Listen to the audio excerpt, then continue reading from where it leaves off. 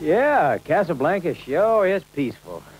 Oh, well, I better make our report. Marineville from Stingray. Routine report. Over. Stingray, come in. Come in. We'll be leaving Casablanca in about two hours, Atlanta, on our return journey home. How are you enjoying your shore leave? Oh, great. Say, I bought you a souvenir. A real cute little hat. Oink's wearing his right now. Why, thanks, Phones. Can I have a word with Troy? Hello, Phones? Did you hear me? Uh, yeah, yeah, I heard. Well, is he there? Well, uh, no, uh, he, uh, he's ashore with Marina. Oh. Oh, I see. Well, it doesn't matter. I was just going to remind him about our date tomorrow. Okay, Atlanta, I'll... Hello? Uh, hello, Atlanta? She's gone. Women.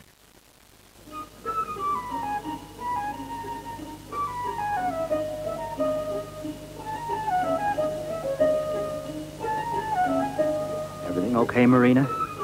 You like it here? Good. Too bad phones couldn't make it. But someone's got to hold the fort on Stingray.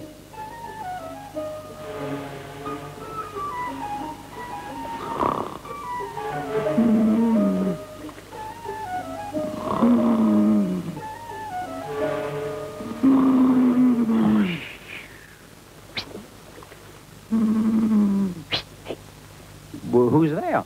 Evening, lad. Tis a fine ship you've got here. A fine ship, sir. Well, you can't come aboard here. You, you... Ah, no. If I had a ship like this here, you know what I'd be doing here? I'd be going after the treasure, sir. Well, you'd better leave before Captain Temp... Treasure? D- did you say treasure? That's what I said, lad. Ar, I'd be the only one as knows where it lies, sir. 'Twas me grandfather that sailed aboard the ill-fated Silver Swan. Learned the secret. Only one to be saved he was. He knew the spot it sank, sir. And, uh, y- you know this spot, do you? Aye, that I do, lad, that I do. Marked on a sea chart that I carry next to me heart. Er, course, I'm a bit old to be going after it myself. But if a young'un like you was to offer me five hundred dollars for this here sea chart. Five hundred dollars. Ah, you're right, lad. I'd be foolish to part with it for such a paltry sum. No, no, no. Wait a minute. Don't you go. got five hundred dollars then, sir. Just two hundred. Good night you, lad. Tis a pity. But, but I know where I can get the rest.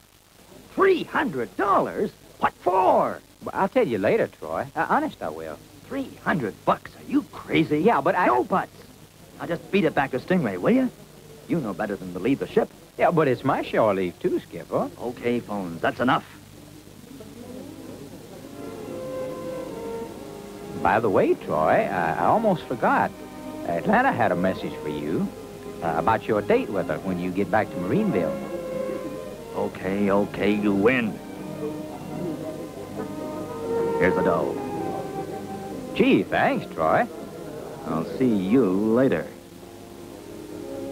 Marina? Marina? Oh, heck. Now she's mad at me. A great evening this turned out to be. Women.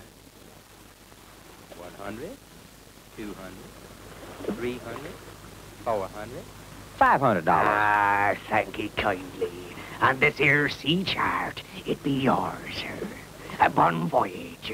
And that's what I wishes ye, lad. A bon voyage.